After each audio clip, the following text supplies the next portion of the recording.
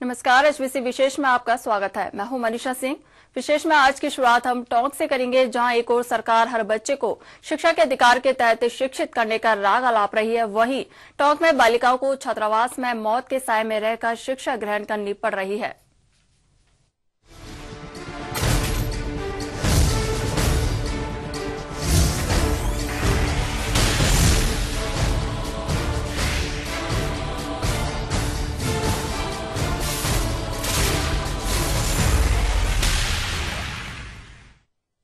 जरा सोचिए कि बालिकाओं को अपने घर से दूर रहकर छात्रावास में शिक्षा ग्रहण करनी पड़े और वो भी मौत के साय में तो वो कैसा महसूस करेंगी? जी हम बात करेंगे टोके पनाधाय बालिका छात्रावास की, जहाँ जर्जर भवन में रहकर शिक्षा ग्रहण करने को मजबूर है। पेश है ये रिपोर्ट।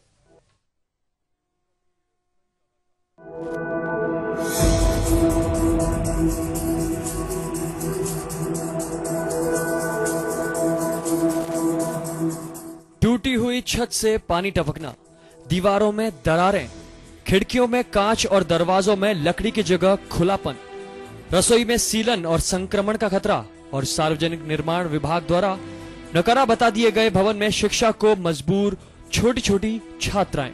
वो भी अपने घर से दूर, किसी छात्रावास में। कुछ ऐसी ही हकीकत है। यही नहीं, छात्राओं को भोजन उपलब्ध कराने और पर्याप्त कर्मचारी नहीं होने की मांग को लेकर छात्रावास के बाहर प्रदर्शन करना पड़ता है। तो वहीं अपनी सुविधाओं के लिए भी धरने प्रदर्शन का सहारा लेना पड़ता है। हालात तो ये है कि इस छात्रावास में दो सौ छप्पन छात्राओं के खाने का जिम्मा, महज पाँच रसोई कर्मचारियों के ऊपर है, जिससे रसोई में अव्यवस्थाओं का आलम है।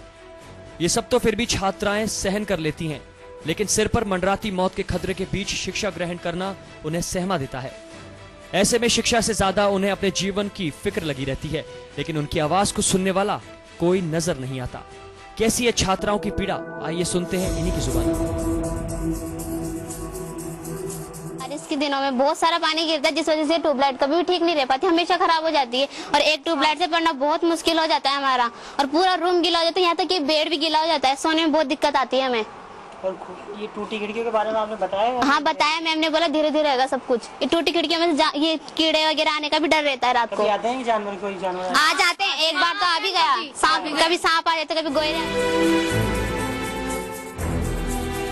बुक्स गीली हो जाती है बॉक्स के अंदर पानी जा, पानी जाता है और पूरे रूम में पानी पानी हो जाता है। बारिश में किस तरह का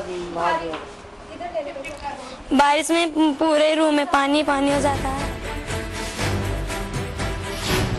पन्नाधाय बालिका आवासीय छात्रावास में बिगड़ते शिक्षा के वातावरण के चलते अपने घरों से दूर आकर ये छात्राएँ अपने आप को ठगा सा महसूस करती हैं।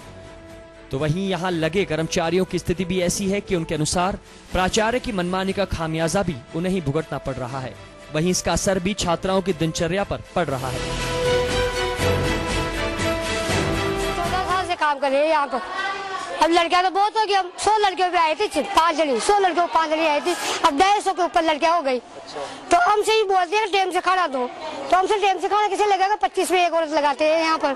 तो हम पाँच ही तो होते हैं ढाई सौ लड़कियाँ हो गई यहाँ पर। अब हमसे कहते हैं "हम्म, ढाई टेम से खाना दो। टेम से खाना कैसे बनेगा? लड़कियाँ भूखा मरती है। हम ऐसे बोलते हैं चार जड़ी और लगाओ। तो ये नहीं आपको बनाना पड़ेगा छह लड़कियों छह लोग औरतों को। छात्रावास भवन की जर्जर अवस्था को खुद यहाँ की प्राचार्य भी स्वीकारती हैं, लेकिन मरम्मत के नाम पर प्राचार्य कुछ भी बोलने से साफ़ इनकार कर रही हैं। हालाँकि प्राचार्य ने एस्टीमेट बनाकर सार्वजनिक निर्माण विभाग को दिया हुआ है, लेकिन छात्रावास प्रशासन की लापरवाही शायद किसी बड़े हादसे का इंतज़ार कर रही है। स्कूल का भवन जर्जर है तो उसके लिए एस्टिमेट बनवा के और बजट भी आया हुआ है हमारा। और बारिश खत्म होते ही इसका काम शुरू होगा। पीडब्ल्यूडी को मिला हुआ है इसका। पीडब्ल्यूडी को हमने दिया हुआ है। पीडब्ल्यूडी ही निर्माण करवाती है। तो जब कमरों में पानी भर जाता है उनके लिए किस तरह की व्यवस्थाएँ की जाती है? उसके लिए हमने पीडब्ल्यूडी को लिखा हुआ है। सरकार भले ही बालिका शिक्षा को बढ़ावा देने के नाम पर छात्रावास तो खोल रही हो लेकिन जर्जर भवन और अव्यवस्थाएँ अपने घर से दूर रहकर शिक्षा ग्रहण करने के नाम पर सरकार के प्रयासों की पोल खोल चुकी हैं। वहीं छात्रावासों में ना तो पर्याप्त सुविधाएँ हैं और ना ही अपेक्षा के अनुसार कर्मचारी। यहाँ तक कि छात्रावासों में रहने वाली छात्राओं को मूलभूत सुविधाओं से भी वंचित रहना पड़ रहा है। आलम तो यह है कि छात्रावास में ना तो कोई रसोई है और ना ही कोई रसोईया। कई बार पढ़ने वाली छात्राओं को भूखे तक रहना पड़ता है। बालिका शिक्षा को बढ़ावा देने के नाम पर दम भरने वाली राज्य सरकार की ये पहल छात्राओं को खून के आँसू रुलाने पर मजबूर है। सच्चाई चाहे जो भी हो लेकिन हर साल सरकार बालिका शिक्षा को बढ़ावा देने के नाम पर करोड़ों रुपए का बजट बनाती है। लेकिन उसका उपयोग कहाँ होता है, ये कोई भी नहीं जानता। लेकिन देखने वाली बात यह रहेगी कि टोंक के पन्नाधाय बालिका आवासीय छात्रावास में रहने वाली इन छात्राओं के लिए सुविधाओं का पिटारा कब खुलेगा और कब ये भयमुक्त माहौल में शिक्षा के साथ अन्य सुविधाओं का भी लाभ ले पाएँगी। एचबीसी न्यूज़ के लिए टोंक से रवि टेलर की रिपोर्ट।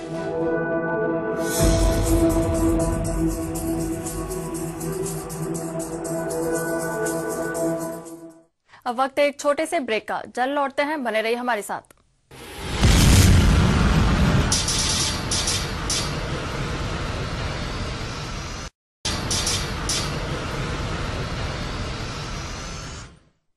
ब्रेक के बाद आपका स्वागत है। कहने को तो सरकार शिक्षा के अधिकार के तहत हर बच्चे को साक्षर करने का दम बढ़ती है, लेकिन आज भी कई स्कूल ऐसे हैं जहाँ बच्चे पढ़ तो रहे हैं, लेकिन सुरक्षित नहीं है। पेश है ये रिपोर्ट।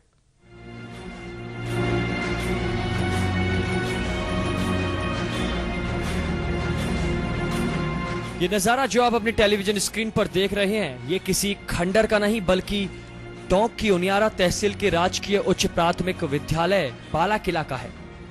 स्कूल भवन की ऐसे हालातों को देखते हुए लगता है, ये कभी भी धराशयी हो सकता है। लेकिन प्रशासन है कि मूक दर्शक बना हुआ है। हालाँकि पीडब्ल्यूडी विभाग ने कई बार शिक्षा विभाग को इसकी सूचना देते हुए स्कूल को कहीं और शिफ्ट करने की हिदायत दी, लेकिन आज तक कोई कार्रवाई यहाँ पर नहीं हो पाई है। जबकि भवन से चूना और पत्थर गिरना तो अब आम बात हो चली है। यहाँ तक कि बरसात के दिनों में तो कई बार स्कूल की छुट्टी तक भी करनी पड़ती है। क्षतिग्रस्त होने के कारण यहाँ पर चूना गिर जाता है और हमारी पढ़ाई बाधित होती है। बारिश होने की वजह से यहाँ पर बहुत पानी पानी हो जाता है और पढ़ाई नहीं कर पाते हैं और हमारे यहाँ पर चौक में पढ़ाई की जाती है। चूना गिरने पर वहाँ पर दीवारें और बहुत सी दीवारें ढह जाती है जिसके कारण हम हमारी क्षतिग्रस्त तकलीफ़ होती है और यहाँ कमरे में हर कमरे में किंकर बाटे गिरते रहते हैं। बारिश के दिनों में तो हमें गी- गीले में बैठना पड़ता है हमें और कुछ भी हो सकता है। दिनों में दिन जो बरसात टपकती रहती है। और आज से लगभग दो वर्ष पहले जयन साहब ने ऐसे ऐसे जो जयन थे, उन्होंने इसको डैमेज घोषित कर दिया। लेकिन दो साल के बाद, अब इसमें क्या है जैसे आधी स्कूल तो बैठने लायक भी, दो कमरे बैठने लायक है, और जो पुरानी तहसील का है, उसके नीचे स्कूल संचालित थी। अब तक उसमें पीडब्ल्यूडी वालों ने जो स्कूल को दे भी दिया है, लेकिन अब इसको हटवाने की व्यवस्था तो या तो संबंधित विभाग करवाए, या पीडब्ल्यूडी करवाए। लगातार प्रशासन को चेताने के बाद भी कोई कार्रवाई नहीं होती देख अब अध्यापक बच्चों को खुले आसमान के नीचे पढ़ाने को मजबूर हैं। वहीं दूसरी ओर गैस सिलेंडर खत्म हो जाने के बाद बच्चों का मिड डे मील भी तिरपाल के नीचे बनाया जा रहा है। हालाँकि शिक्षा विभाग के अधिकारी भवन की जर्जर हालत की बात को तो स्वीकारते हैं, लेकिन वो भी बड़े अधिकारियों के आदेशों के इंतज़ार में हैं। पर कभी भी हादसा हो सकता है उस बिल्डिंग में।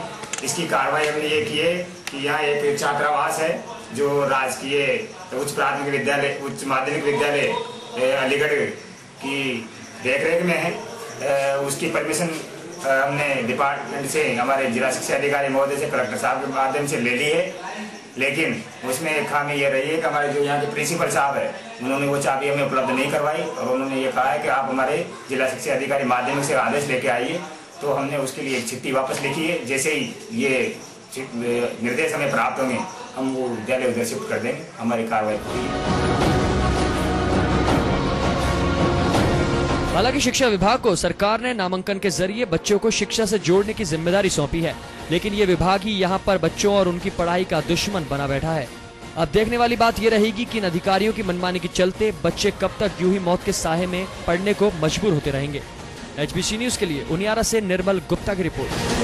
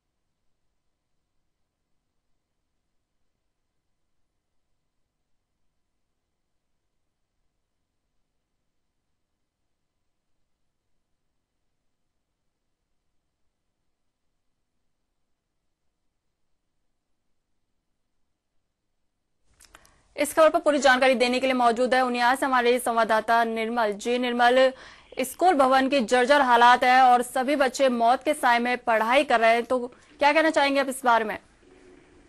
राज्य प्राथमिक विद्यालय बालिक इलाज इतनी जर्जर अवस्था में है कि ये स्कूल का एक हिस्सा कभी भी धस सकता है। जी। जिला शिक्षा अधिकारी प्लस ब्लॉक शिक्षा अधिकारी ने अवलोकन कर लिया। पीडब्ल्यू के अय्यर ने भी इसको अनुपयोगी बता दिया। परंतु अभी तक शिक्षा विभाग ज़्यादा नहीं है। जी। और लड़के जो छात्र छात्राएँ डर के मारे चौक में बैठते हैं स्कूल के भवन में कोई नहीं घुसता है। जी जी। बारे में मौन बन- बने हुए हैं। जी निर्मल कभी भी कोई भी बड़ा हादसा हो सकता है तो क्या आपकी प्रधानाचार्य से बात हो पाई है? क्या कहना है उनका इस बारे में? प्रधानाचार्य जी बात होने के बाद उन्होंने कहा है कि हमने उच्च अधिकारी को अवगत करा दिया गया है। जी। हमारा हमारे अभी तक कोई सुनवाई नहीं कर रहे हैं।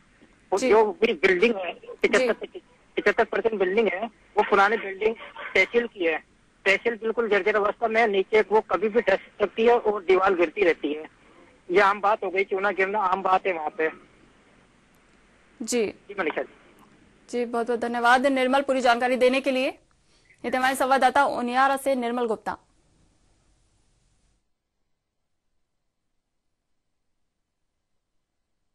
अब वक्त एक छोटे से ब्रेक का। जल लौटते हैं, बने रहिए हमारे साथ।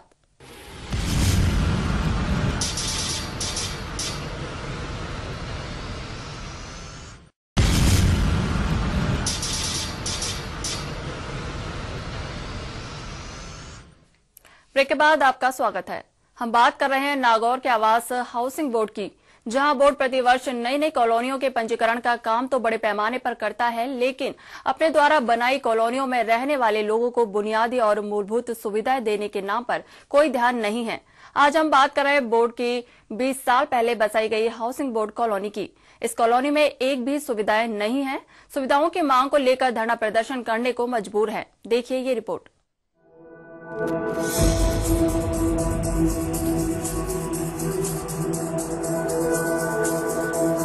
ये तस्वीर जो आप अपनी टेलीविज़न की स्क्रीन पर देख रहे हैं, ये है 20 साल पहले बसी हाउसिंग बोर्ड कॉलोनी की।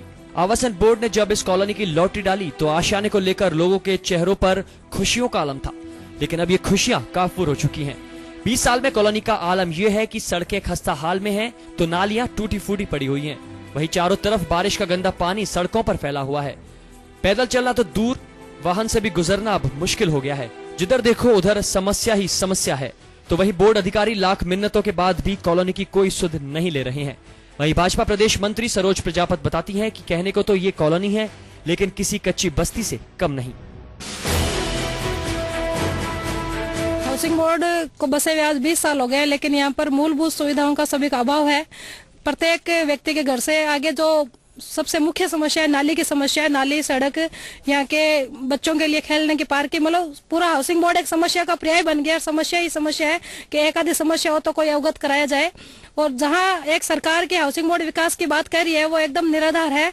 यहाँ नई कॉलोनियाँ बसाने के नाम पर लोगों से लाखों रुपए लूटे जा रहे हैं। साल से यहाँ बासिंदे रह रहे हैं। हमारा डेवलपमेंट चार्ज हम दे चुके हैं। उसके बावजूद हमारी जो मांग है, हमारा डेवलपमेंट चार्ज जो लगना चाहिए, वो आज तक नहीं लगा यहाँ पे। और अगले हमारी यह है योजना कि अगले सोमवार तक हम इनको अल्टीमेटम दे रहे हैं। सोमवार को हमें सामूहिक धरना देंगे। कहने को तो ये कॉलोनी 3000 से भी अधिक आबादी वाली है, जो किसी भी राजनीतिक दल के लिए एक बड़ा वोट बैंक भी हो सकती है। चुनावी आलम होता तो कॉलोनी के विकास के लिए बड़े बड़े वायदे किए जाते। लेकिन आज के दौर में कोई भी दल